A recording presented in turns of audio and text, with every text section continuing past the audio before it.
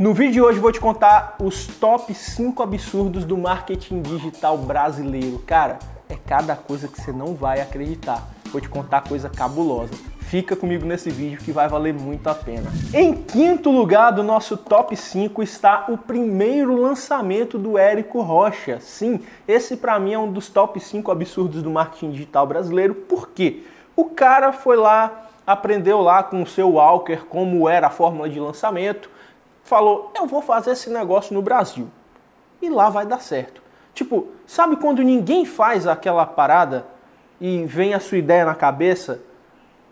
Quantas pessoas realmente têm coragem de executar? Vocês acham que Érico Rocha foi o único a pensar em trazer a fórmula de lançamento para o Brasil? Provavelmente não. É bem possível que antes dele outras pessoas tivessem pensado, outras pessoas já conhecessem o método americano, mas nunca tiveram coragem de trazer isso para o mercado brasileiro. Então, para mim, esse é um dos absurdos do marketing digital brasileiro, porque sim, numa época que ninguém entendia nada, ninguém sabia o que, que era, internet horrível no Brasil, internet de escada em um monte de lugar. Érico Rocha foi lá, bateu no peito e falou: Eu vou ensinar os brasileiros a vender na internet.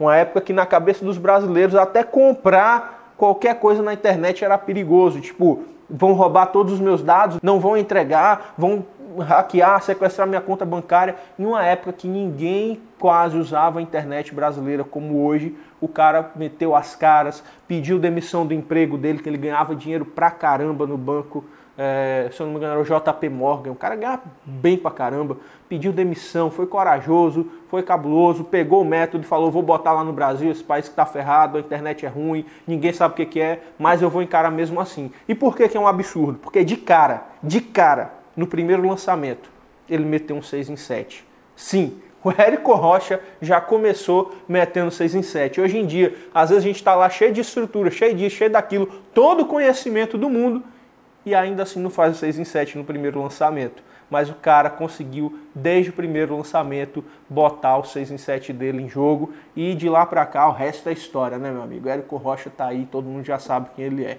tá bom? Então esse é o top 5 absurdo do marketing digital brasileiro. Outro grande absurdo do marketing digital brasileiro que eu coloquei na posição número 4 é em relação à Hotmart. Cara, a Hotmart a gente conhece muitas coisas dessa empresa, é uma empresa fenomenal, tem muita coisa para ser falada dela, só que tem uma coisa que eu achei muito interessante. O site LinkedIn, olha só que interessante. A Hotmart é a empresa mineira e a única brasileira entre as 10 melhores company pages do mundo no LinkedIn, com o conteúdo mais atrativo. Olha que interessante, só para vocês terem ideia, vou te falar aqui quem que está na frente da Hotmart, tá?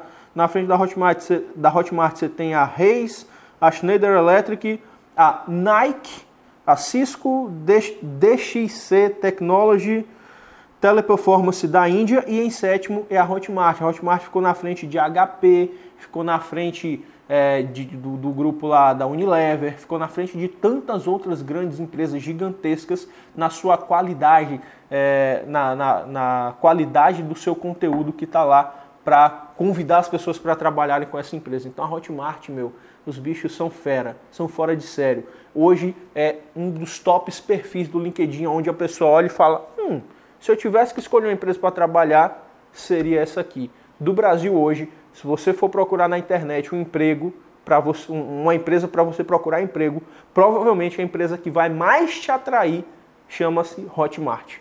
Ela está aí no top 1 brasileiro de atração de funcionários. A bicha é danada, né? Então tá aí mais um absurdo do marketing digital brasileiro.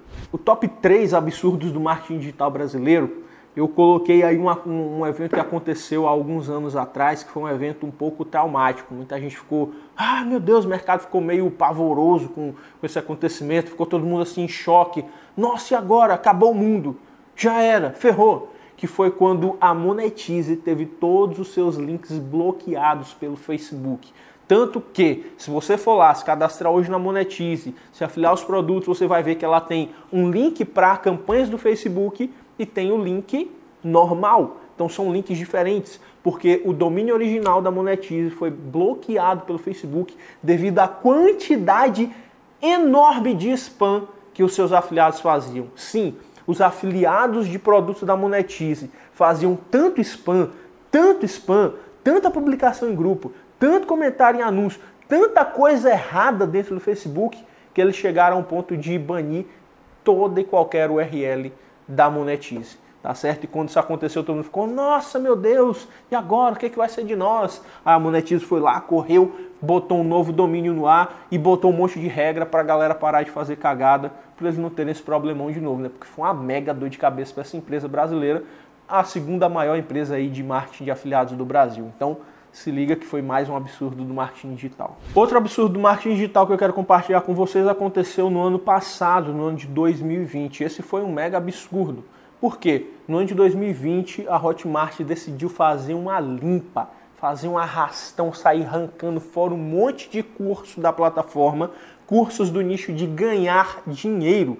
Por que, que a Hotmart fez isso? A Hotmart é uma empresa que sempre buscou ser o mais séria possível, é uma empresa que preza pela sua qualidade, credibilidade e começou a ficar muita gente falando na internet da Hotmart, como se fosse funcionário da Hotmart, né? Ah, porque a Hotmart isso, tipo, aqueles vídeos, né? Uma semana de Hotmart, olha quanto eu ganhei, é, um mês de Hotmart, comprei esse carro, essas bobeiras aí todas que rolou muito por um, algum período aí na internet. Então, devido a esse tipo de comportamento, a Hotmart começou a identificar que tinham vários cursos lá que falavam que eram cursos de marketing digital, mas não passavam de pirâmides disfarçadas, que eram o quê? Era um curso que você comprava esse curso e esse curso falava assim: olha, para você ganhar dinheiro você tem que vender o curso que você comprou para outras pessoas. E essas pessoas vão pegar e vão vender o curso que elas compraram para outras pessoas, que vão vender o curso que compraram para outras pessoas e, blá, blá, blá, e assim por diante. Você já entendeu que é basicamente uma pirâmide disfarçada. Então, sim, aconteceu muito isso. Cursos aí que davam 80% de comissão. Cara, um curso que dá 80% de comissão você já pode desconfiar, porque para começo de conversa você paga imposto aí, principalmente essa galera que fatura muito o cara fatura lá 100, 200, 300 mil, ele vai pagar mais que 10% de imposto. E aí se o cara dá 80% de comissão e ainda paga 13,5% de imposto, e depois ainda tem empresa e outros gastos, não vai sobrar nenhum real pro cara, né? Então como que eu vou dar 80% de comissão para uma pessoa se eu não estiver fazendo coisa errada? Complicado. Né? Eu não posso dizer que todo mundo que dá 80% de comissão faz coisa errada, mas fica atento nesse tipo de curso aí que paga comissão demais porque empresa séria tem custo, tem gasto e o negócio não é bagunçado assim não. E aí eles tentaram dessa bagunçada, apareceu esse monte de curso e aí a Hotmart saiu limpando, passando a foice em tudo, tirando fora, botando todo mundo para correr da plataforma e aí eles foram se abrigar em outras plataformas de marketing digital por aí afora, né? Mas a Hotmart quis manter a 100% da confiabilidade e hoje eles têm um processo bem mais rígido de avaliação e aprovação principalmente de produtos do nicho de ganhar dinheiro. Não que não surjam produtos desse tipo ainda lá, surge, mas quando eles pegam, eles cortam fora. E esse foi mais um absurdo, absurdo do marketing digital brasileiro. E o top 1, o maior de todos os absurdos do marketing digital brasileiro, é que, mais uma vez, a Hotmart está envolvida nesse absurdo, né, gente? É que a Hotmart é a empresa que mais criou milionários no Brasil. Nossa, José, mas como que você sabe disso? Olha, de fato eu não tenho uma estatística oficial. Mas se você entrar agora no site da Hotmart, eu fiz isso antes de gravar esse vídeo. Eu entrei no site da Hotmart e eu contei 40 produtos a 150 graus de temperatura. O que, é que isso significa? Os meus produtos, a gente já fez lançamentos, já fez várias coisas e eu nunca passei dos 90 graus. A gente sempre ficou ali 80, 90. Porque 80, 90 ele dá um pico aí de vendas entre 10 e 15 mil por dia tá? Então é esse pico de vendas mais ou menos para você bater 80, 90 graus na Hotmart. Ou seja, 150 graus você está tipo praticamente o dobro, né? Então facilmente eu poderia dizer que quem está em 150 graus está faturando a média de 20 mil reais por dia ou mais, né? A gente sabe que na verdade é muito mais. Tem gente ali no 150 que fatura 50, 60, 100 mil reais no dia, tá? Então sim, essa galera aí, vamos botar 20 mil, vamos jogar por baixo. A gente tem 40 produtos a 150 graus batendo aí no mínimo 20 mil reais por dia de faturamento. Se a gente jogar isso no mês, daria 600 mil no mês. E aí tem produtos lá, que eu acompanho isso sempre, todo dia eu entro e olho o mercado, desses 40, pelo menos uns 20 estão lá, eu, eu consegui acompanhar pelo menos uns 20 há meses. Ou seja, se o cara ficar dois meses lá, na verdade, ele já bateu 1 milhão e 200 mil de faturamento. Né? Então já teria um faturamento milionário.